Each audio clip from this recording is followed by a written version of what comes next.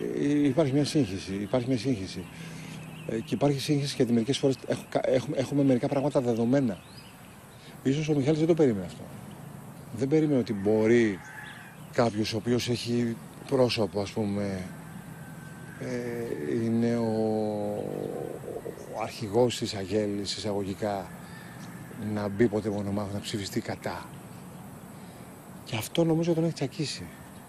Έχει χωνευτεί ήδη η απόφαση του να είμαι μονομάχος. Ε, από τη στιγμή που το άκουσα, άσχετα να ξαφνιάστηκα, από εκείνη τη